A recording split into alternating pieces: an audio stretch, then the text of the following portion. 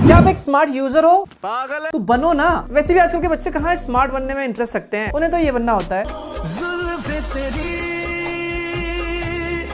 खैर मज़ाक से हटके जब आप एक कंप्यूटर लैपटॉप बाय करते हो तो उसमें स्टार्टिंग में सॉफ्टवेयर इंस्टॉल करते हो जैसे कि ब्राउज़र मीडिया प्लेयर एंटीवायरस तो ये सारी चीज़ें आप क्या करते हो? एक एक करके इंस्टॉल करते हो। ये बहुत ज़्यादा टाइम कंज्यूमिंग प्रोसेस है और थोड़ा सा बोरिंग भी है। तो आपको क्या करना है?